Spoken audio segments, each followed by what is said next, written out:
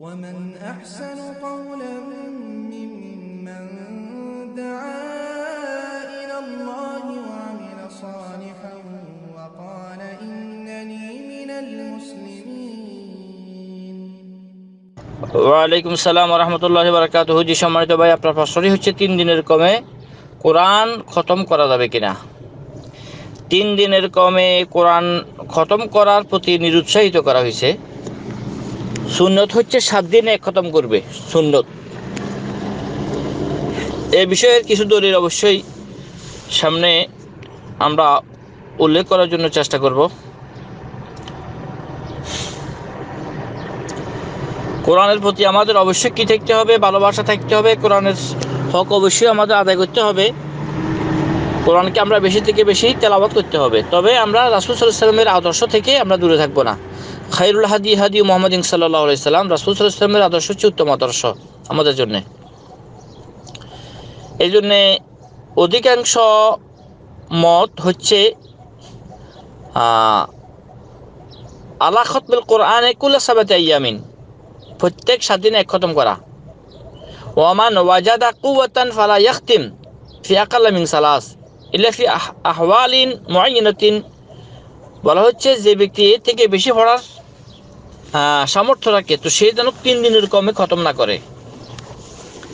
তবে বিশেষ কোনো অবস্থাতে যেমন কারও যে সময় বেশি আছে, যেমন মনে করেন রমজান মাসটা মানুষের আবাদত বন্দীর মাস, বা কেউ এতে কাফে আছে, তার কোনো দুনিয়া কোনো মাস গালা নাই, কোনো ঝামেলা নাই, নিরিবিলিতে আছে সে, কার হক নষ্ট হবে না। এমনটা হলে তিন দিনের কমেও এটা জায়েজ হবে। সুন্নত নয়, জায়েজ। একটা হচ্ছে সুন্নত আর একটা হচ্ছে জায়েজ।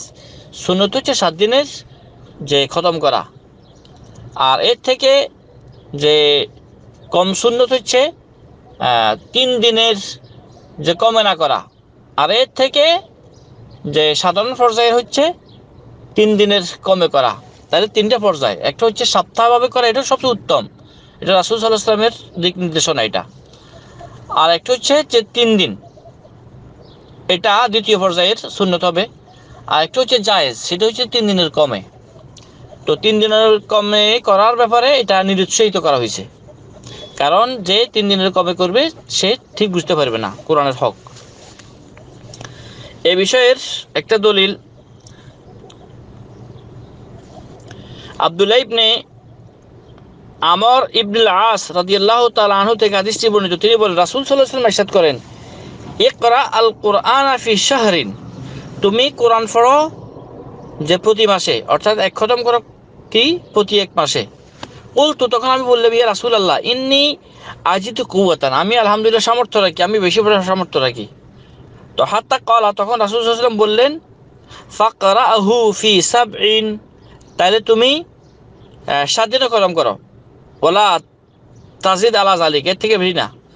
এই হাদিসটি সহি বুখারির চার হাজার সাতশত সাতষট্টি সহি মুসলিমের এক হাজার একশত উনষাট নম্বর হাদিস। তাহলে এখানে রাসুল সাল্লাম সাত দিনের প্রতি উৎসাহিত করছেন। তারপরে ফি আকাল্লা নবী জালিকা আমাদের যারা আসলাফ আছেন,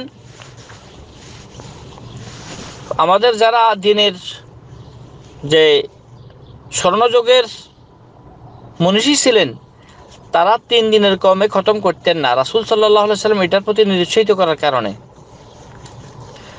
এ বিষয়ের হাদিসটি আব্দুল ইবনে আমর থেকে তিনি বলেন, রাসুল সাল্লাম ইরশাদ করেন, লা ইয়ফকাহু মান করাল কোরআনা ফি আকাল্লা মিন সালাসিন। যে ব্যক্তি তিন দিনের কমে কোরআন পড়ল, সে এটা বুঝলো না। তিরমিজির দুই হাজার নয়শত উনপঞ্চাশ আবু দাউদের এক হাজার তিনশত নব্বই। ইব্রিম মাজার একশত এক হাজার তিনশত সাতচল্লিশ। হাদিসটি সহি। তাইলে আমরা বুঝতে পারলাম এটার প্রতি তিন দিনের কমে, খতমের প্রতি নিরুৎসাহিত করা হয়েছে। ইবনে রাজাব হাম্বালি রহমাহুল্লাহ বলেন, কাতাদা রাদিয়াল্লাহু তাআলা আনহু, তিনি প্রত্যেক সপ্তাহে একবার খতম করতেন। আর রমজানে প্রত্যেক তিন দিনে একটা খতম করতেন। তারপরে রমজানের শেষ দশকে প্রত্যেক রাত্রে একটা খতম করতেন। ইমাম শাহি রহমতুল্লাহ আলাই রমজানে ষাটটা খতম দিতেন। ইয়াক রাহুয়া ফি গাইরি সালাত, এটাকে তিনি সালাতের ছাড়া এমনি তেলাবাত করতেন। আর ইমাম আবু রহমতুল্লাহ থেকে এভাবে বর্ণনা করা যায়। ওনার থেকে এরকম প্রমাণিত হয় যে তিনিও ষাটের মতো কোরআন খতম দিতেন রমজানের মধ্যে। ওয়াইনামা ওয়ারাদান নাহি আন কেরাতিল কোরআন ফি আকাল্লা মিন সালাসিন আলাল মুদাওয়ামাত আলা জালিকা অর্থাৎ যারা সব সময়ের মধ্যে তিন দিনের কমে খতম করবেন, তাদের জন্য নিষেধ।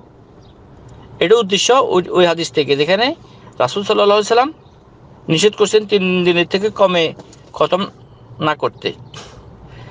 তবে ফাম্মা ফিল আওকাত আল মুফাদ্দালা, যে সমস্ত সময়গুলোর মধ্যে বেশি বেশি ফজিলত পাওয়া যায় কাশাহারে রমজান। যেমন রমজান মাস, খসুসান আল্লাহ ইল্লাতি ইউতলাবু ফিহা লাইলাতুল কদর। বিশেষ করে বিশেষ রাত্র আছে কতগুলো। এর মধ্যে একটা আছে কি? লাইলাতুল কদর। আউফি আল আমাকেল মুফাদ্দালা।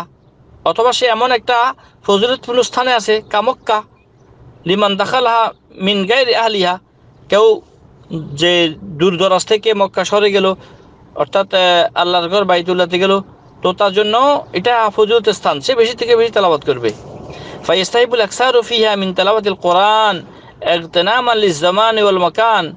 তাইলে বেশি থেকে বেশি কোরআন তেলাওয়াত করবে এই স্থান এবং কি? এই সময়গুলোর মধ্যে। যেহেতু এটা হচ্ছে একটা গণিমতের বিষয়। ওয়াহুয়া কাউল আহমদ ওয়া ইসহাক ওয়া গাইরু মিন আইম্মা। এটা হচ্ছে ইমাম আহমদ এবং ইমাম ইসহাকের কাউল। এছাড়া আরও অন্যান্য ইমামদেরও কাউল। ওয়া আলাইয়দুল্লু আমল গাইরহিম কামা সাবাকা জিক্রু এভাবে আমরা আমল দেখি, যেমন নাকি অন্যান্য মনীষীদের কথা এখানে আলোচনা করলাম। তো সর্বোপরি কথা হচ্ছে যে, রাসুল সাল্লাহ আলহিসাল্লাম যে এক মাসের কথা বলছিলেন ওনাকে প্রথমে। তো এক মাস দিয়ে যদি নাকি খতম করে, তাহলে কোরআনের তফসির ব্যাখ্যা সব বোঝা, সবগুলো বোঝা একেবারে সহজ হবে। আর যদি নাকি শুধু তেলাওয়াতের দিক থেকে নিয়ে আসতে চায় তাইলেও স্বাধীন থেকে তার কম না হয়।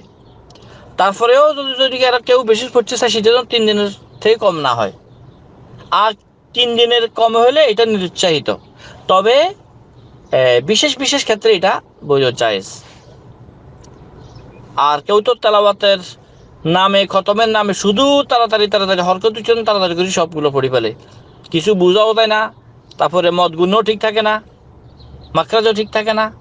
তো এগুলা কোরআনের প্রতি অবিচার। এইভাবে কোরআন ফটো নিষেধ।